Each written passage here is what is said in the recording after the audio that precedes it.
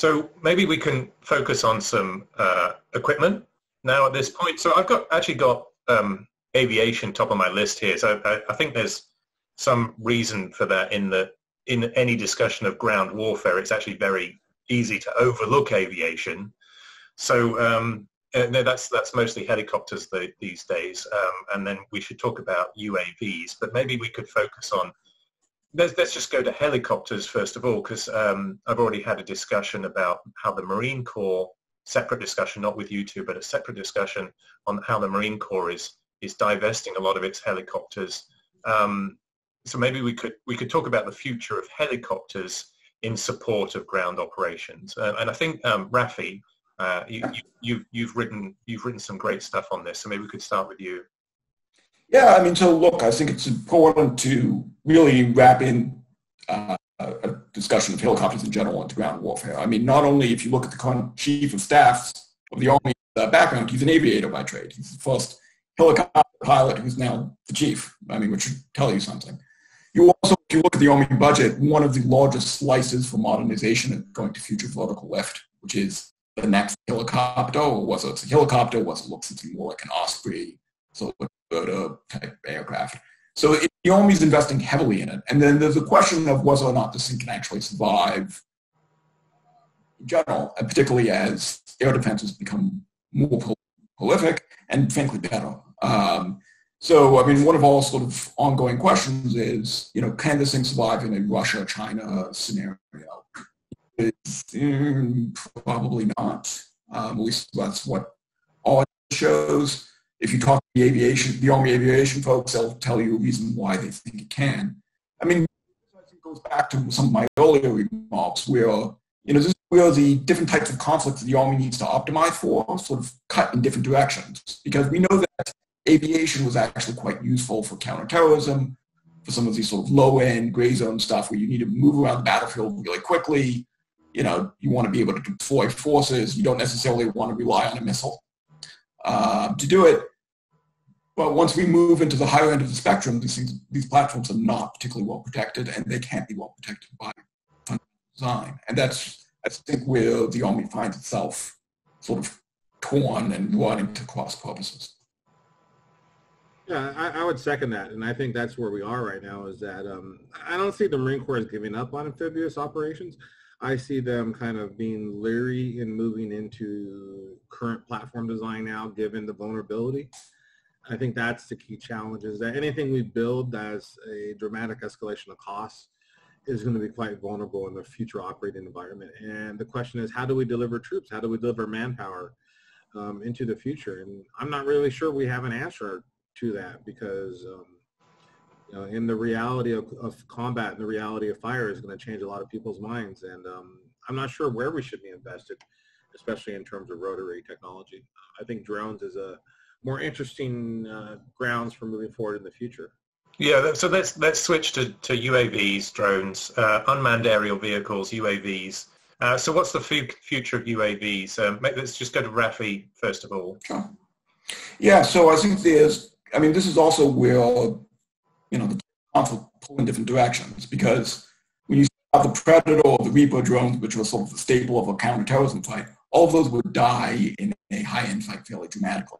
Uh, I mean, they're slow, they're not particularly stealthy, like. Uh, so if you talk about sort of what kind of drones you want, what kind of unmanned uh, aerial vehicles you want for a high-end fight, they've talked about having many more of them, having sort of this swarm concept that you can all sort of link together, uh, you know, AI and so on. There's talk about trying to do some un, uh, manned and unmanned teaming. So basically you have some manned, some unmanned platforms, and they try to leverage both to get the sort of optimization feature. There's a lot of interesting experimentation happening. Um, not, how much of this is actually practical and how much of it will be uh, cost effective, I think ultimately remains to be seen. And that I think was where the jury's out. But the concept I think makes sense in the abstract. Whether or not it's practical, I think that's a Yeah, and I'd add that we're doing a lot of work on swarms. We're trying to figure out the logic and the technology of swarms. I think there's a lot to be said about uh, drones and swarming technology. But the limitation, of course, is you need AI for this. And the problem is, is that we don't have people who are collecting data. We don't have people who are analyzing data. We don't have people to put data models into operation for the drones and the swarms to utilize them. So um, there's a disconnect there. But I, I think swarms are probably part of the future. Um, one of the key things we're looking at is loitering drone, uh, drones, drone, drones uh, thinking more about heavily armed platforms that can loiter over a problem area for a long time that are cheap. That is really useful to us. And then finally, I think we don't talk enough about um, logistics connecting that to unmanned vehicles and how resupply can be done through drones. And I think that's a big failing. And that's something we need to really kind of uh, buff our resources on moving into the future because if we're going to operate in a, you know, in a, in an EABO kind of standpoint, we need to think about how we're going to resupply. And if we don't have helicopters, how are we going to do that? And I think there's a lot of opportunity for drones and unmanned to be, to play a role in that part. Right. So we've talked about two categories of UAVs uh, so far, and I think there's a third one. So, so we talked about, but Brandon's talked about large platforms that can loiter with significant weapons on them, uh, and then by implication, the sort of drones that can swarm. They're small and they're autonomous, so they're, and, and they're communicating with each other, so they can swarm in in in in intelligent ways. I think there's a third one, which is uh, the question of whether we distribute more small drones to the ground forces, to the lower echelons. Um, so there's been a debate about whether you have big platforms that are that are managed at higher echelons, or whether you have more more distribution of smaller platforms with very short range uh, intelligence uh, uh, and surveillance and reconnaissance capabilities.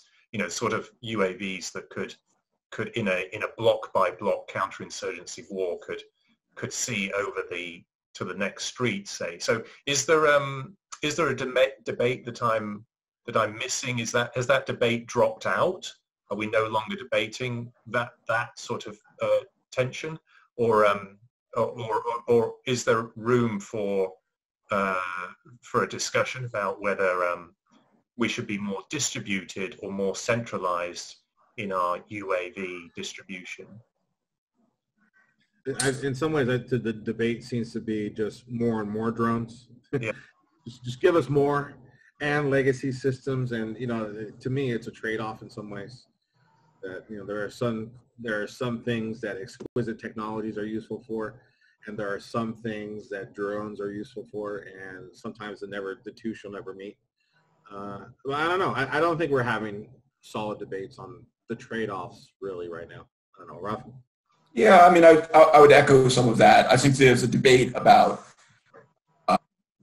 less about distribution and more about um, cost of the individual drones, whether or not you should get invest in these sort of high exquisite platform, or whether or not you want to really get into fairly cheap drones, the one that get shot down because all these stealthy drone is really difficult um, and one that's going to survive uh, Russian or Chinese air defenses is damn near impossible, at least as far as I've seen. So, you know, not when it, it's question is when it gets shot down, not whether it will eventually. So. Yeah. The, the July June crisis with Iran is pretty indicative of this like future discourse because you know they of course shot down a global hawk they of course launched cruise missiles at us and we kind of just dismissed it as you know not expensive these are cheap they didn't hit anyone only 100 people got a concussion and we kind of just played it off and we de-escalated which was good at the time because i certainly don't want to go to war with iran but then on the other hand i worry about american credibility and i worry about how these new technologies especially cheaper drones are going to fit into coercive uh, bargaining platforms moving into the future yeah. yeah well said well, thank you both. So, so let's switch to another major platform, tanks. So what is the future of tanks? Rafi? Uh, yeah, I mean, look, I think the future of tanks, I mean, this again gets, I'll go back to the part of being torn in different directions. I think there's not much of a future for tanks in Indo-Pacific. The, I haven't seen a good concept that will tell me how you're going to use a heavy brigade combat team in these places you would want to operate in there is something to be said for tanks for deterrence. uh, particularly in Europe. You know, we have some gaming that sort of gets to that.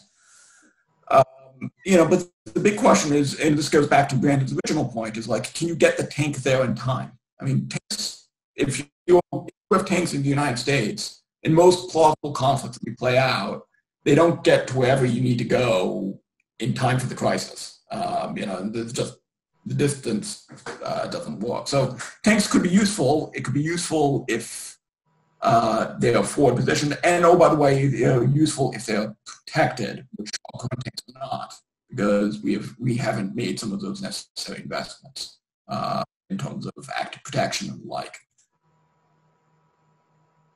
Yeah, I was that. I'll turn it over to Brandon. Yeah, and you know it's interesting being you know working with the Marine Corps because we don't talk about tanks anymore. You know, and if they're going to mythologize any sort of technology from the past, it's artillery. So you know, there's different cultures in the military, and it's not clearly unified. And um, you know, we just don't talk about tanks anymore. I think you know, for the Marine Corps, I think a lot of their history is really based on amphibious uh, Higgins type platforms, and uh, that really comes down to like a um, a reliance on innovation in some ways, but I think it's also a reliance on independence and a reliance on flexibility. I think that's important for some branches. So I, I, think that's one of the reasons the Marine Corps might have moved away from tanks. It's probably more of a culture thing in some ways. I don't know. It's just I'm speculating. I'm spitballing in some ways.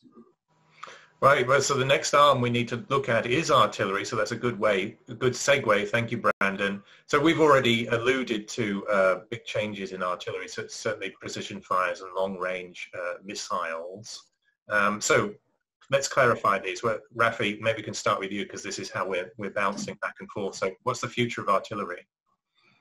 So I think there's a question of range. There's a question of mass too. Um, and I think there's a general belief at least in army circles, that you need many more fires, not just longer range.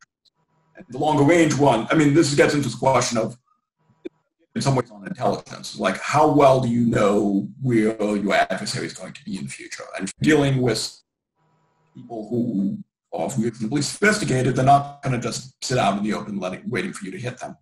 Uh, if you have long-range precision fires, that's great, um, but that only works if you know exactly where it is. Otherwise, you need to rely on mass to blanket the area.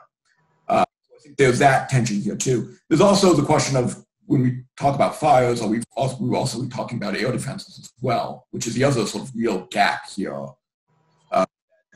The Army in particular divested itself of, um, in fairly dramatic fashion during the uh, counterinsurgencies of Iraq and Afghanistan, and realizing that you know if you're going to be fighting adversaries, you need air defenses. Um, and you need to be able to protect yourself against ballistic missiles. You need to protect yourself against cruise missiles.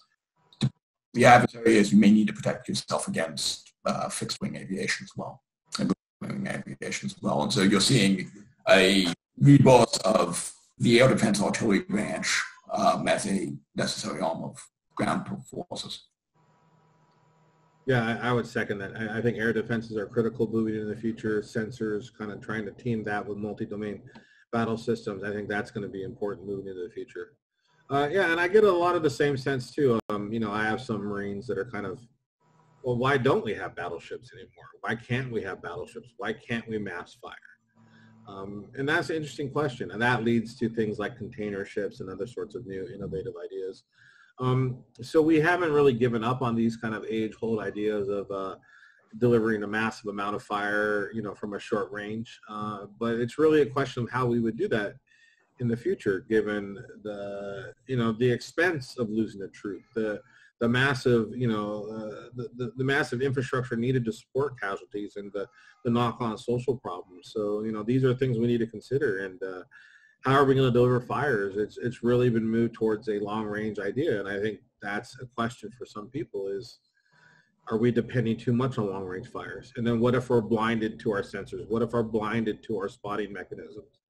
Um, I, I, think that's a real fear. So um, I really don't know what the future of artillery is, given this sort of this this debate between a new innovative idea of a new you know a, a new battlefield or HIMARS or this uh, new innovative idea, of long range fire, loitering, um, you know, cruise missiles spotted by drones.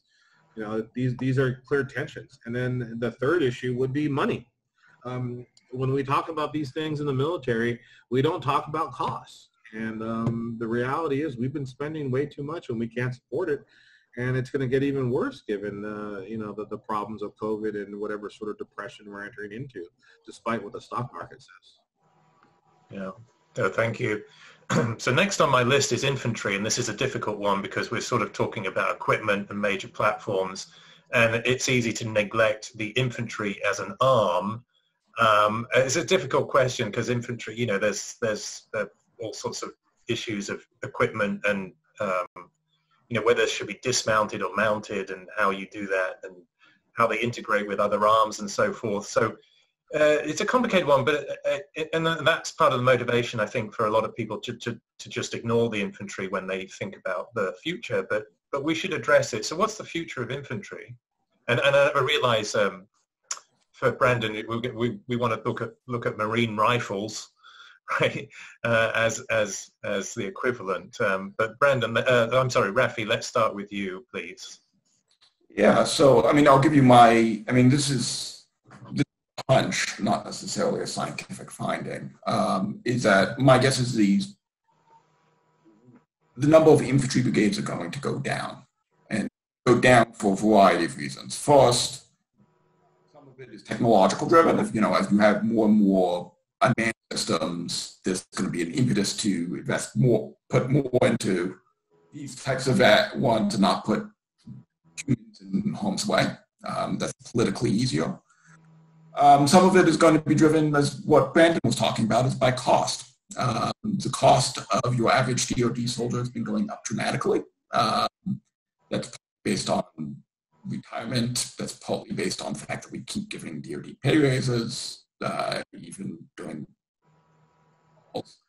Um, and all that means that as the cost of being the individual soldier gets more expensive, there's an incentive there to sort of move in a different direction So if, you know, the only countervailing force here is that the army really still revolves culturally around the infantry. Uh, important branch, is we're one that produces a disproportionate number of the army leadership.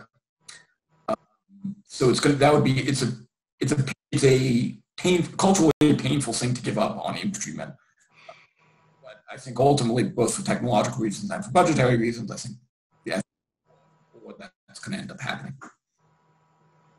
Yeah, I'm seeing the same trends. Um, you know, we need to have a real conversation on you know manpower and our reliance on it too much. And you know, there's a lot of jokes in the Marine Corps about you know why pay for a machine to do something when you can get 30 troops to do it for you. You know, that, that sort of stuff. It, that sort of stuff has to go away. And then there's a deeper societal conversation about infantry and the value of a soldier and you know suicide rates and you know even black lives matter too you know where there's a, a certain tendency to put certain types of troops in certain types of jobs and um, this has been a legacy in the military that it's something that we need to change and we need to, to fix because um, the military should be a leader in society not a follower so i'm curious how these things are going to enter into the conversation moving into the future um, especially with a possible new administration that might be a little bit more concerned about the social well-being of our troops. I mean, um, we have a big problem. We we can't educate our soldiers. We can't. We, we have a problem at the PME level, and we have a problem at just basically keeping our soldiers happy in terms of uh,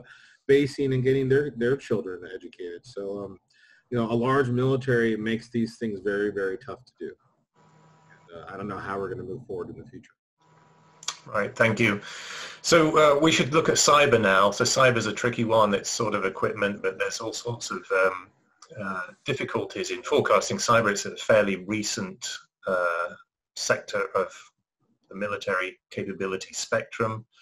Um, and as Brandon has, has alluded to, there's, uh, there's difficulties in modeling the, the future of cyber warfare. So I realize this is a difficult thing for you both to to make forecasts on, but we should address it. So what's the future of cyber in ground warfare? Rafi? I mean, I think a lot of what I have to say on the subject has already been said. Um, I'll say any war game I've actually sat in never has a particularly good job of modeling it.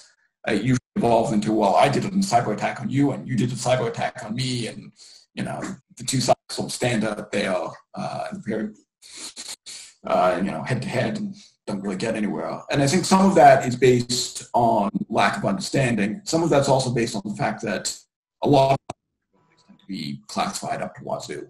Uh, so, you know, even if you run a, so any classified war game is not going to really it's hard to have a, a, open conversation about what cyber can and cannot do in, you know, War on the Rocks or any of the other sort of professional military circles uh, public that allow you to sort of get at some of these harder questions. I think the general consensus that cyber is going to be more important in ground warfare, but beyond that sort of top line, that actually looks like and what it actually can and cannot accomplish, I think that it gets really fuzzy really quickly. Yeah, I don't know where to begin on this. Um, I, I, think you're really right, Rafi. Um, we're not sure what it can and can't do. We have a very poor method of evaluating the effectiveness of cyber operations, and it's part of what the Solarium Commission did. And I purposely wrote something that probably is going to end up in the NDAA, where we're making the cyber posture review actually looked at the effectiveness of operations. And when you look at the effectiveness of cyber operations at the tactical or battlefield level, you find very disappointing results. Um, I think it was Bob Work wrote a nice piece for Harvard where he's basically like, I don't know why cyber didn't work against ISIS. You know, it's just it's kind of ridiculous because the, the target and the capability don't match, and and that's a challenge. Um, looking at Ukraine, looking at Georgia, we don't find any utility for cyber operations at the tactical level, and that's a key challenge because the coercive implementation of cyber and strategy is kind of based on this mythical version of Cyber Pearl Harbor when cyber is a bit more mundane. I think the more interesting analysis I've seen is things like of um, like say uh, recent exercises and campaigns where uh, the, the EU, I mean NATO basically gave two women four SIM cards and two laptops and said, do your worst. And they had people making Facebook groups and giving away their identity and going on Tinder and going on dates and you know, I think the, the vulnerabilities in cyber are a lot more mundane and a lot more simple than we realize.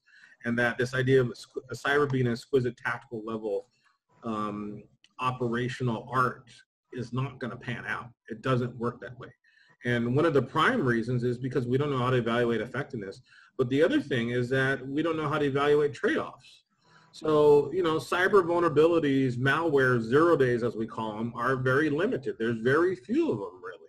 So are you going to waste a zero day on some, you know, small little artillery, you know, squad, you know, trying to hack into their systems? Like it's, it's, it's, it's useless. It doesn't meet the cost and the bang for the buck analysis. So there's a lot wrong. And the reason why everything is wrong is because I mean, I'm sorry, but frankly, um, the U.S. military gets their vision of cyber strategy from uh, from uh, Ghost Fleet. I mean, that's that's utterly ridiculous. It's it's sickening. I'm tired of going into generals' offices and them showing me a, a book, Ghost Fleet, and like this is how cyber works. And I'm just, uh, I, I, don't know anymore. And, you know, it's, it's or movies, or, or movies, right? Yeah. Uh, I got a, I got a little anecdote for you on on wargaming. So, so I do a lot of wargaming of counterterrorism. Uh, so it's really it's really a tabletop wargaming. But the way I model cyber is I have an expert, a genuine expert on on cyber capabilities. So you, so you can imagine what agencies um, that sort of person comes from. And so, so one side says, well, we want to do this. We want to launch this cyber attack. So I go to that person. I say, can they do that? And he'll say, uh, well, they can do this. And so I'll, I'll just let, let that happen. And the other side will respond and, and they'll go to the expert. Can they do that? you know, that's, that's how you model it uh, that's that's the best way I've come up with with modeling cyber in war games. But um, so listen, I've got uh, I've got uh, one really really difficult question for you, and if you don't like this question, we'll just cut it, and then you can think about what question you still think I should be asking. So what area of the world are you most concerned about uh, with future for a future ground war? And I suppose there's two ways of cutting that question is uh, what is the likeliest place where the United States will be involved in a ground war, or another way of cutting it is what is the riskiest place. So it may not be the likeliest place, but you know we, we might be more worried about it. That's why I phrased it that way. So what, what is the most worrisome, worrisome area of the world for a ground war involving the United States? Rafi? So most likely, I would say still the Middle East, um, partly because no matter how many times people try to say that we're going to get out of it, we seemingly haven't. Um, and I don't see that happening, at least in the next decade or so. I could be proven wrong, but we've, we've seen this show again and again. You know, maybe we're in a different world with COVID. Uh, the most dangerous, um, in general, the most dangerous conflict would be with China. Uh, you know, as has the resources, economic and, and increasingly military, to pose this challenge. Now, the problem with that is, you know, my only caveat to this is the ground, you asked about ground warfare in particular.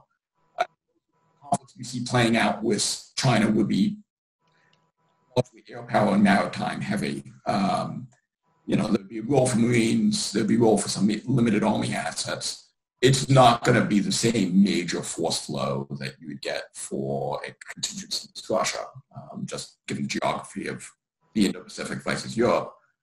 So if you ask general, most dangerous conflict in general, China, most uh, conflict for ground forces, probably Russia and Europe somewhere. Um, and then the most likely one will be doing counterterrorism in the Middle East because we've been doing it for a while and we're going to still do it because it's still running around Yeah, I agree. Um, I think Taiwan is the most dangerous future battle point, but that wouldn't be a ground warfare conflict. Um, I hope we move away from the wars in the Middle East. I hope that, you know, fool me once, fool me twice, fool me three times, maybe four times, maybe five times. I, I hope we stopped. Um, I, but I also I would say we've been doing it for so long. I don't think it's the most difficult. I think really the most difficult is Africa, and you know I don't even like calling Africa a region because it's so vast. But you know you look at a special operations team that you know got beaten up and failed in Niger. Um, that tells you a lot about local support and our problems with these long range operations that we can't support logistically or even you know based on you know just basic you know uh, I don't know what you call it, but you know health and support. Um, you know, and also, um, I remember back in the day, I, I didn't like Joe Biden a long time ago because he wanted to send troops to Sudan to pacify Sudan. And, you know, my comment at the time was Sudan is as big as the United States, basically. It's like 75% of the United States and the mainland. And like we have this view that we can send a thousand troops like we did. And, you know, that didn't work in the Middle East and it's going to work even less in Africa. So I'm curious how that'll develop going in the future. Um, I think I'm most hopeful for Latin America. I think Latin America has been fairly stabilized and, you know, the kind of ended the drug wars and, you know, we see other challenges in Brazil, but I, am glad that we're moving away from an idea of combat there. I hope. I don't know. Yeah. Well, thank you. I, I, I actually should follow up because I kept saying we should talk about the Arctic. So none of you have mentioned the Arctic. Um, is it is it of concern, right? So uh, just to give some uh, parameters to why it is being discussed. So Russia is expanding its uh, permanent basing into the Arctic Circle. Um, obviously, Russia is uh, is also uh, expanding. I don't know if that's the right word, but expanding its uh, naval and also aerial exploration of um, territorial spaces around Norway and even Britain. In fact, they've, they've flown around France, for instance. So uh, incursions into Sweden that were well reported. So um, there is this concern. So NATO certainly has a concern with its northern flank, as it calls it. So it's left, it's Arctic. Um, in, increased risk of uh, uh, operations in within the Arctic Circle, which have peculiar peculiar requirements. So now you need peculiar capabilities for that which actually traditionally the Marine Corps have played a significant role in. Um, are you concerned about the Arctic? Uh, I, I, would say yes. I, I, did include it in a book I wrote on Russia. Um, and uh, we are totally unprepared of it. I, I, had no idea the Marine Corps actually took the lead on this issue before, and I've been working with them for three years. So um, I've never heard of the Arctic really actually mentioned. And uh, we are utterly unprepared. Uh, we don't have enough icebreakers. We, we have nothing. And uh, this is where our failure to support our allies is really going to come to bite us because we need Canada. We need Norway here. And um, they're better positioned uh, both materially and in terms of uh, human capabilities to deal with these issues. And um, we have fallen on our face here. And, it's a combat zone I haven't even considered since I wrote that book. And it just goes to show the cycle of academia just keeps churning where, you know, one thing's a problem and then it's just not all of a sudden. And we like to forget and ignore things. But yeah, that, that's a big concern given the oil spill uh, with Russia right now that, um, yeah, we, we should be paying more attention to it. Rafi? Yeah, so I would I would echo all of that. Um, the, again, I would just pose the question of should we be concerned about the Arctic or should we be concerned about the Arctic ground warfare? Um, and I think the we should definitely be concerned about the Arctic in general as a region. Uh, as Brandon mentioned, we have we have a grand total of two icebreakers. Both of them are quite old. Uh, the, the Coast Guard platforms, though, and so I worry about Coast Guard. I worry about our relationships with Canada and our other allies for a host of reasons, which is this conversation. I worry about the Arctic in terms of the long-range bomber flights um, by the Russians primarily. Um, I worry about Russians running around in the Arctic Circle. But all of that is not necessarily a driver of ground presence. I mean, I guess you could have some air defense presence there. Um, we talk about sort of uh, missile defense of the Arctic is actually a pretty good place to base it. But by and large, those usually aren't going to be U.S. Army folks. Um, the Marines have had a long-standing relationship with Norwegians. That's that's different. Um, so you know, we talk about the Russian incursion into the high north Norway. I can that, but in terms of like actual like large-scale ground combat in the Arctic Circle, I find that somewhat less plausible. Um, so I see, I see us being worried about the Arctic, but I see ground forces playing a more of a supporting role than necessarily being in the lead. Well, great. Um, so this is your opportunity for you to ask a question that you want to answer um, or, or add any final thoughts that have not been expressed yet. I would just say I think we need to be more concerned with how we develop doctrine and strategy. And there are a lot of great lessons from the rise of the aircraft carrier and the rise of air power and how we integrated uh, these capabilities and knowledge of these capabilities into the military. And we're doing this exactly backwards with AI and cyber and other new technologies. So I think we've kind of forgotten our future, our, our past in terms of innovation. And to me, that's really troubling. Um, you know, we have a vision of, say, cyber for all to teach uh, professional military education uh, to teach our leaders. Uh, but I could tell you, you know, I've written three books on cyber. I serve at a national level commission. I still don't know what cyber for means, and I don't know how we're going to communicate that to our troops, really. So that, that's a challenge. So I would, I would echo that, and I would even go one step further, is that we don't spend enough time thinking about capabilities capabilities in general, forget about new ones. You know, I'll go back to all, we've talked about long-range fires, for instance. I mean, the, and you hear the Army saying, well, that's our solution to the Indo-Pacific. It's like, how exactly are you going to use these things? Like, uh, to what end? You're just going to turn bombardment fight? I mean, what, what exactly are you going to hope to accomplish with these capabilities once you have them? And that's, that's what exactly is our Syria victory? Is that is always as clear cut as I would like it to be. Well, well said to you. Th- thank you both. Uh, very articulate and uh, very stimulating. I actually learned a lot from both of you, and I very much appreciate that. So I'm going to thank you both for your military service. I'm going to thank you for your public service in writing the reports you've you've already uh, published in the public domain about the future of warfare, and I'm going to thank you for your public service in speaking to me, my students, and uh, the wider public. So thank you, Brandon. Thank you, Rafi. I hope we have the opportunity to meet in the real world post post emergency. so thank you both. I'll sign off and say goodbye. Thanks, Bruce. Bye bye.